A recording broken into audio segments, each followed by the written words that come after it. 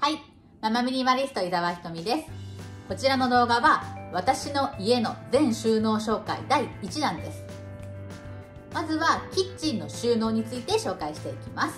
築5年の分譲マンションに住んでおります。3LDK の71平米の広さ。家族は4人で主人、私1歳と5歳の男の子の4人家族になっています。そんな私の家のキッチン収納早速紹介していきます。私の家のキッチン収納です。基本的に表に物を出さないよう心がけております。ここは一番よく使うものを収納しております。でできる限りこういうカバンとか使うものでちょっと仕切りみたいな感じで使ってます。続いてカップボードの紹介になりますキッチンの後ろの収納になりますね。これはオーダーで作ったものになります。全体はこういった感じでこのカップボードのカウンター。以前ここに電子レンジを置いてたんですけど今下に電子レンジが入ったので上には何も置かないようになりました。一つこのカゴを置いていて普段はここにバナナや果物を入れてます。もうさっき次男が食べちゃったので今は何も乗ってないですね、はい、こんな感じでこうすっきりしていると効率よく作業ができるので何もないっていうすっきり感と作業効率を上げるというために今こんな風に毎日なってます。ここはですねそんなにこう大きな収納力っていうのは正直なくて上のこちらの扉に食器を入れてます。なので、え、プラスチック以外の食器は全てここの中に入ってます。ガラスの扉が3枚ありますね。で一番右側がコップを入れてます。普段使うコップになります。あと上が私の趣味のお茶の用具。この辺りの食器についてはまた別の動画でお伝えしていきます。でこんな感じで入ってます。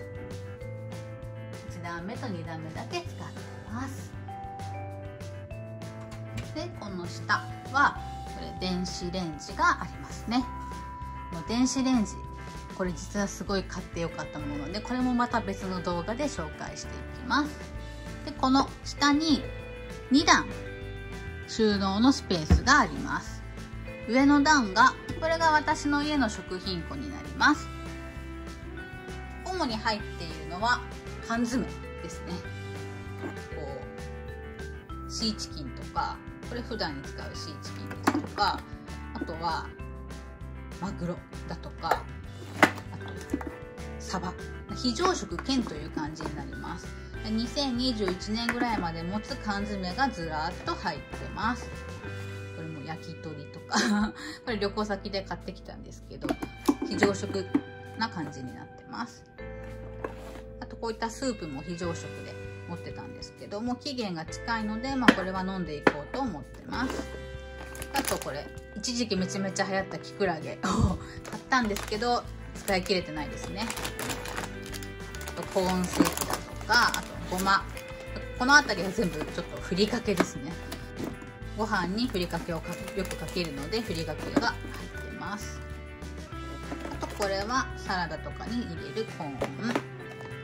あと子供用のイオン飲料ですね。もしなんか熱とか急に出した時用に持ってます。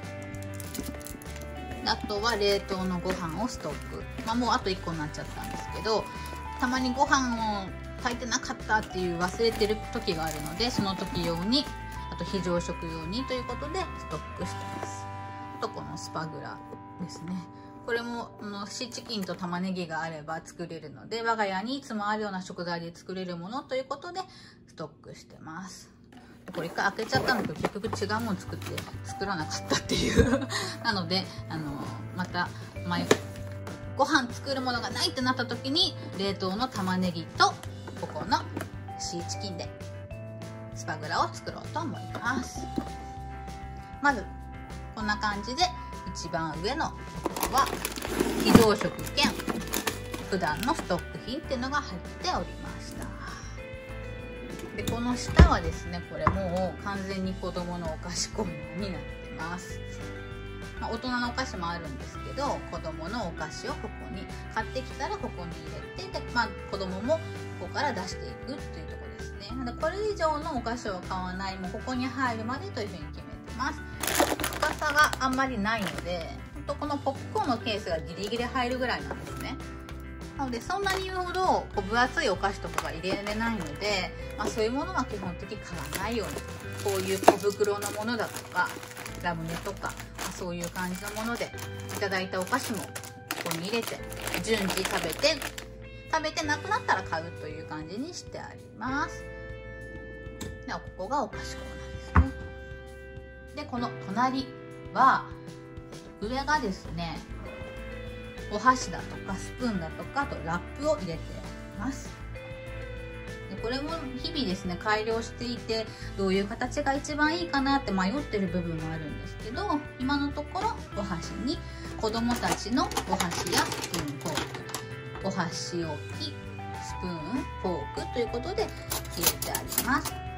でスプーンやフォークを大きいもの小さいものでそれぞれ6本ずつ持っているので合計12本。合計12本とあるのでもうよっぽどこう子供たちのものもいらないかなと思ってるんですね。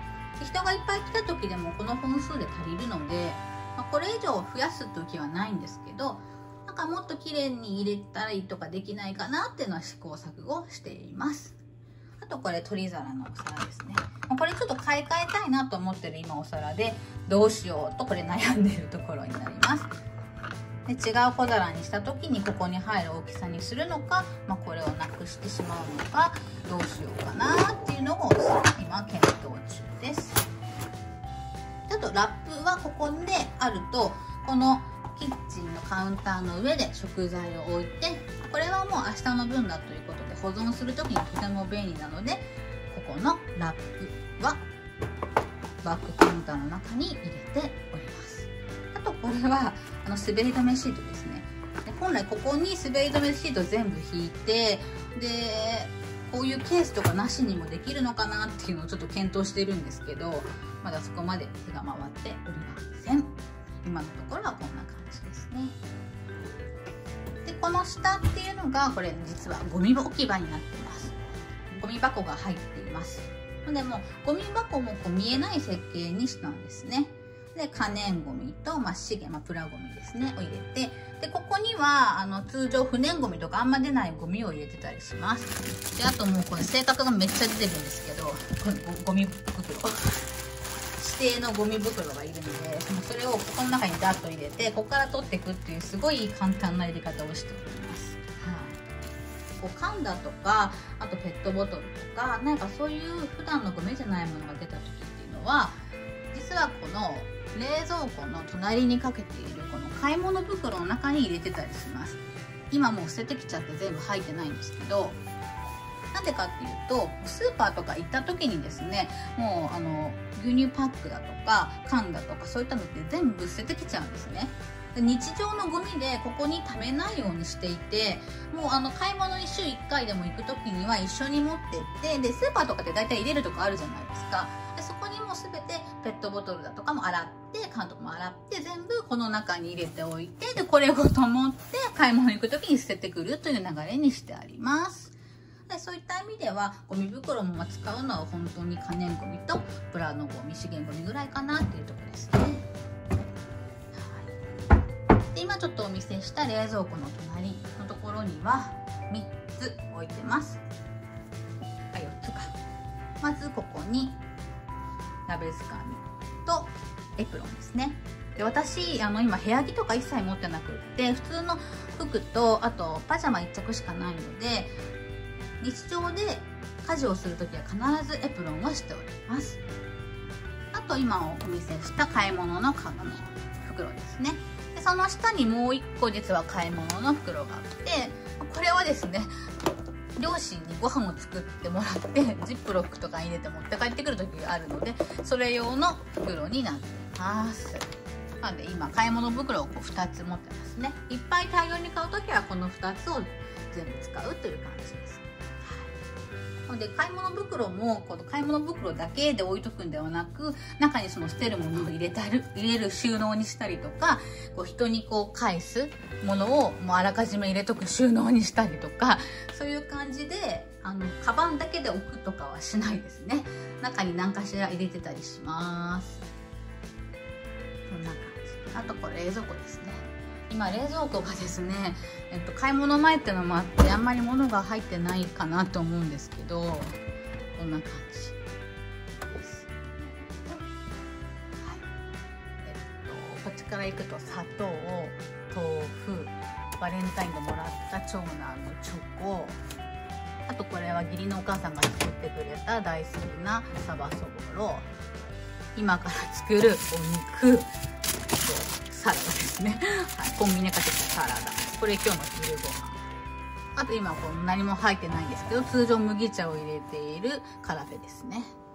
はい。でこの中の下には今ほんとこれ卵もちょっと今ちょうどなくなっちゃってでこの下はこうお菓子チョコとかのお菓子はここの中に入れてます。この中はふりかけだとかが入ってます。これ海苔。ふりかけ使いかけのふりかけクリームシチューの余りだとかここれから使い切ろうねっていうもの。あとじゃこですね。に関してはここにあと鍋のまだ使ってないあと1袋だとかそういったものをこの中に入れてありますここから使うようですね。でサイドの方行くとここが飲み物コーナー。お酒に子供たちのちょっとしたジュース。とこれが調味料ですね。を入れてます。でこの下はここが基本的に牛乳入れると。醤油とあとは、まあ、これ美味しいお酢。あと飲み物のカルピスだとかが大体常備で入ってます。でちょうど右サイドの方がこのコンロスペースに近いのでここに調味料その鍋のところに入れる調味料をここにまとめてますね。なのでめんつゆとかあとこういうかけポンとかでこれかけポンの奥にこう料理酒があるんですけどでこういうのを一気に取り出せるようにここでまとめてやってます。であとまあ醤油はちょっと使うので大きいの今回買ったんですけどウスターソースとかめんつゆとかもできる限りここに収まる大きさの小さいものを買うようにしてます。この方がスペースも取らないし新鮮な調味料が常に使えるのでいいかなと私は思っています。で左側はこんな感じで上からいくとこれピーナッツバター。これ最近買いました。パンに塗るやつですね。とこれも同じくいちごジャム。奥にはご飯の時にかけるご飯ですよ。を入れてます。あとここがドレッシングですね。ドレッシング類。その後ろにはマスタードだとかあとニンニクだとかのそういったチューブが入ってます。餃子のタレラー油あとこれ賞味シャンタって、まあ、中華系のちょっと調味料をここにまとめてますね。結構タレとか使うことが多いので使うものだけをここ私の中での定番品を入れてます。あと下は麦茶ですね。今これの麦茶鍋がない夜間を持っていないのでここで麦茶を沸かしてでもっといっぱい作りたい時はここのカラフェに麦茶を移し替えてまたここで作るというような流れで麦茶を作っています。で真下はここは冷蔵庫でもこういう感じで常にご飯を冷凍ストックしております。毎日炊くのが結構大変というかできないのでそういうことがもう冷凍をするっていうんですねでその下が冷凍庫はい冷凍庫ですね上のところにこうバターと、まあ、何か熱出した時の枕がちょっと入ってますねで下冷凍庫は結構いろいろ入れてますというか野菜をほとんど切ったものを冷凍してるんですねこれはほうれん草これは玉ねぎ。これは人参。これはスープを作る時の生姜。これはニラ。これがネギ。ネギとかこう味噌汁に入れますね。今からちなみにチヂミを作るのでこのニラと人参と玉ねぎ。ますちょっとこんな感じに減っちゃうんですけどあとここがお肉だとかを入れているのと、はい、ジムや調味料系なものをちょっと冷凍に入れてあります主に私は生協で買い出しをすることが多いので、まあ、さっと作れるものをいくつかこの中に入れてありますね。子供が食べれそうでさっと作れるもの。あと小麦粉をこの中に入れてます。小麦粉も使い切れないのでもう冷凍しちゃってます。で最後に野菜室。今野菜が多分ほとんどないですね。はい。今これ上はストックのところで目的がある時開けるところになります。これ今天才粉を使ってるんですけどこれの残り入りきらない分が中に入ってます。あと冷麦が3袋に。あとこの辺りはですね全部味噌汁作る時に使うものですね。味噌だとかとろろだとかあとわかでその下になんと熱を出した時用の冷却シートジップロックに入れて置いてあります。味噌汁作るか何かこうストック食べるか 熱出した時に開けるコーナーになってますね。で下はあ焼きそば。これ今日の夜ご飯で作る焼きそばとあとは無洗米をこのようにストックしてます。もうなくなるので買わないといけない。でこちらのコーナーはドリンクでまあ普段そんな飲まないですけどジュースとあとは麦茶のパック。あとは紅茶のパックですね。もうここに入れてます。飲み物コーナーがこんな感じですね。で本来ここに野菜が買ったら野菜を入れるコーナーになってます。で今はちょっと買い出し前なのでこんな感じですね、はい、こんな感じでした。もしこの動画が良かったよ参考になったよと思っていただけた方は是非チャンネル登録高評価よろしくお願いいたします。それではまた次回の動画でお会いしましょう。じゃあね。